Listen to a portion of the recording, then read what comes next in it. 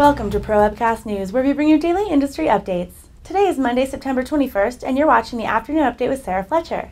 Today's news is sponsored by Sunderland Group, your success, our tradition. For more information, please visit www.sunderlandgroup.com. Now for today's headlines.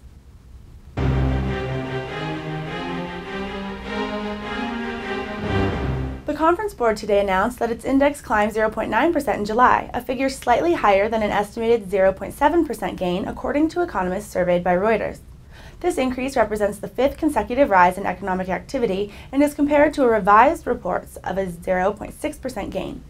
According to one economist with the board, quote, since reaching a peak in July 2007, the index fell for 20 months, the longest downtrend since the mid 1970s, but it has been rising since April and its gains have become very widespread, unquote.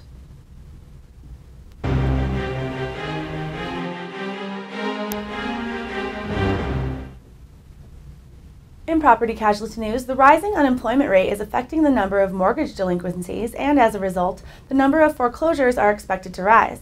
In terms of U.S. homeowners, an unprecedented 7.58% were at least 30 days late on mortgage payments in August, a climb from 7.32% in July, Reuters reports.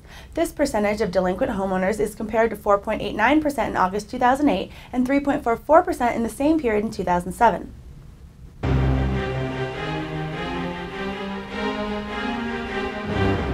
In investment news, municipal bond mutual funds generated $1.51 billion the week ended September 16th, according to Lipper, a unit of Thomson Reuters. This figure represents the highest weekly inflow since Lipper started tracking this data in the early 1990s. In terms of the entire sector, the average inflow for the past four weeks came to $2.64 billion.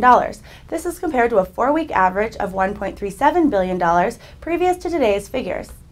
I'm Sarah Fletcher, and thanks for watching ProWebcast News. For more in-depth news and features, visit producersweb.com.